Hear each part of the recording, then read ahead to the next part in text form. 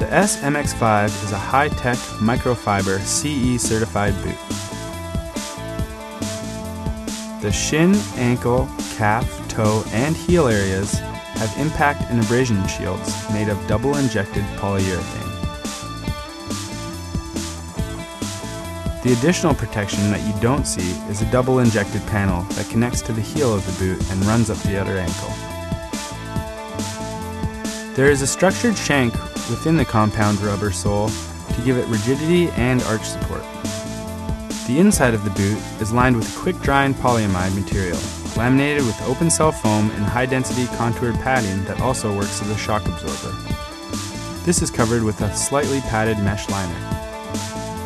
The flexible bellow structure on the back of the heel gives the boot natural, unrestricted ankle movement, which is designed to absorb hyperextension and prevent excessive forward or backward movement in an accident.